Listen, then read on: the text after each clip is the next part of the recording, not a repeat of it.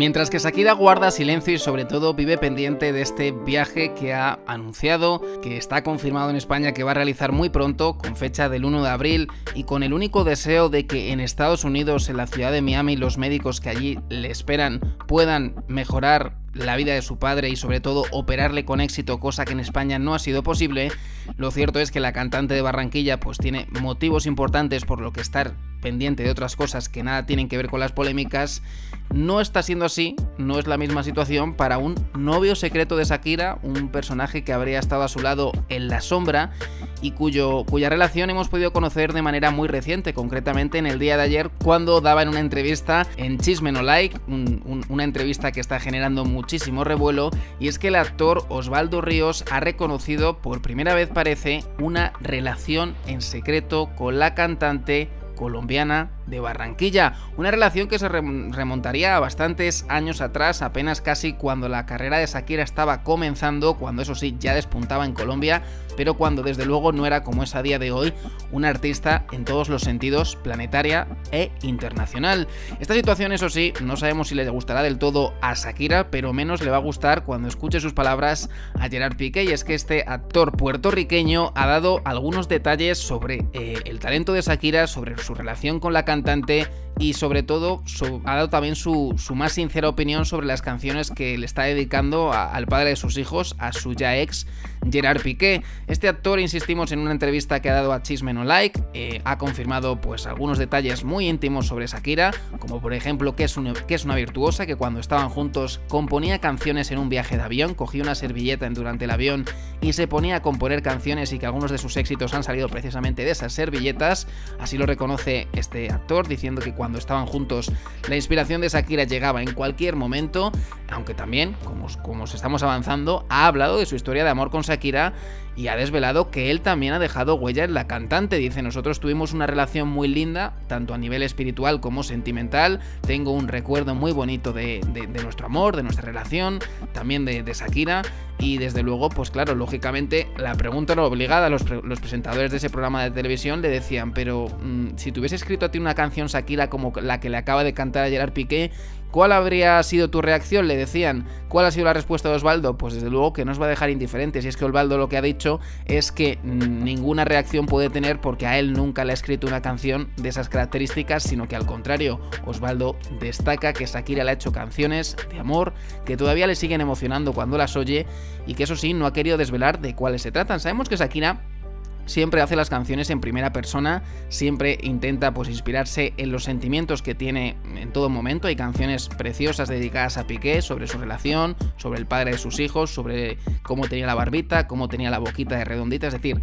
hay muchas canciones de amor hacia Piqué, del mismo modo que ahora ese amor, se ha, ese amor se ha acabado, ahora las canciones son de todo lo contrario, como ha pasado en TQG y en la Bizarrap Session número 53, y lo que viene a comentarnos Osvaldo Ríos es precisamente eso, que él también ha sido el protagonista de canciones de Shakira. Entendemos que de tiempo atrás, porque, porque esta relación parece que en España, que es de, un programa de televisión, se ha hecho eco con bastante detalle toda esta entrevista de Osvaldo Ríos, sitúan que, este, que esta relación pudo haber sido allá por el año 97-98, es decir, ha llovido bastante, más de 20 años, habría que remontarse esa relación y por tanto podríamos ubicar las canciones. En lo referente a Gerard Piqué, insistimos, le han preguntado si él hubiese encajado, cómo hubiese encajado una, una, canción que fuese en su contra, y lo que ha dicho es que él no lo encaja de ninguna manera porque a él, a él Shakira nunca le ha hecho una canción así de negativa, así de mala, porque él nunca le ha provocado ese sufrimiento a la cantante de Barranquilla, sino que todo lo contrario, que Shakira siempre le ha hecho canciones de amor que le siguen gustando y que le siguen encantando. Él como moneda de cambio destaca que le escribía poemas a Shakira. de hecho ha recitado algunos de los poemas que le ha escrito a Shakira cuando, bueno, de esa relación que ya ha pasado mucho tiempo y también reconoce que le ha escrito libros que, espere, que, espera que, todavía la cantante pues eh, los conserve. Como vemos, este novio misterioso que algunos quizás conoceréis, algunos quizás ubicaréis, otros no tanto, la verdad es que en España no es un señor demasiado conocido, es cierto que también se habla de que pudo tener una relación con la tonadillera española, con Isabel Pantoja, y por eso en España se, ha generado mucho revuelo, porque habrían tenido Shakira e Isabel Pantoja un mismo novio, aunque lógicamente no a la vez, no, no, no, no es la misma situación lógicamente de Piqué y Clara Chía, que mientras que Clara Chía pues se metía en la relación, Piqué estaba con, con su con su mujer o con su compañera de vida, con la cantante de Barranquilla, y al mismo tiempo se iba con esta, con esta camarera que servía copas en un conocido local de Barcelona. A partir de aquí la historia la conocemos todos, sufrimiento, desengaño y mucha inspiración para una Shakira que ha sabido aprovechar ese sufrimiento, ese engaño, ese, todo ese dolor en canciones, en letras, en una manera de hacer terapia, pero sobre todo también en una manera de entretener, de,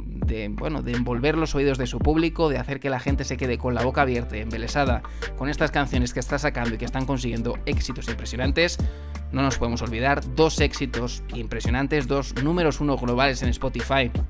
con la Bizarrap Session y con TQG, fruto precisamente de esos éxitos, Carol ya ha conseguido su primer número uno en la colaboración precisamente que ha tenido con la cantante de Barranquilla. Y más éxito que va a tener porque este viernes no, nos podemos olvidar que tiene una entrevista muy importante, bueno, una entrevista no, una performance, va a cantar por primera vez su canción en directo en el programa de Tonight Show de, Jimmy Fallon, es decir, un escaparate importante que demuestra que Shakira está muy centrada en la salud de su padre, quiere irse a Estados Unidos a toda costa. En España hay, hay, medios de comunicación que dice que Shakira está arriesgando la vida de su padre porque, no, porque en España los médicos le dicen que ese viaje es muy delicado para él, pero como vemos Shakira tiene esa mínima esperanza de que la vida de su padre mejore y por tanto su deseo es ese, irse a Estados Unidos, que, operen a su padre, que, que, tener a los mejores profesionales, a los más caros, a los que tienen mejor tecnología, mejores herramientas y mayor conocimiento y por eso Shakira no escatima ni en precio, ni sobre todo quizás en un poco en riesgo, pero lógicamente ya pues, antepone que su padre esté bien a que su padre esté en el actual estado que está en España, con, una operación de riesgo que no se atreven a hacer y que en Estados Unidos sí que le prometen que son capaces de hacerla. Por lo pronto, más allá de la seriedad del estado de Don William, aparece este exnovio que no deja en muy buen lugar a, Gerard Piqué reconociendo que a él nunca le han hecho canciones de ese tipo porque él nunca ha tratado de esa manera a Shakira y esto lógicamente es lo que hace que Shakira pues haya hecho lo que ha hecho porque ha, ha sufrido tanto, la han engañado de tal manera que ella simplemente ha volcado sus canciones antes eran de amor dedicadas a Piqué y ahora son de desamor, de sufrimiento y bueno, parece que de, atacar de alguna manera a Gerard Piqué, a la suegra, a Clara Chía, pero en su, en su derecho está porque esto no es nuevo. Shakira no ha inventado nada, lleva haciéndolo un montón de años. Hablar en primera persona contar sus sentimientos, sus sufrimientos, sus alegrías y lógicamente hoy por hoy eh, eh, lo que define a Shakira ya lo está dejando atrás, pero lo que ha definido el último año es el sufrimiento y el engaño y el dolor al que le ha sometido el que es el padre de sus hijos, el padre de Sasa de Milan, un Gerard Piqué que tan pronto como ha dejado el Fútbol Club Barcelona se ha encontrado con dos canciones en su contra, con un montón de reveses empresariales y con una relación, eso sí, parece que satisfactoria junto a una joven de 23 años llamada Clara Chía. A partir de aquí, ojalá que Don William se mejore, ojalá que que le intervengan. Y como dice el exnovio o novio de, eh, hace muchos años de Shakira, a él nunca le han escrito malas canciones porque él nunca ha hecho nada malo a la cantante.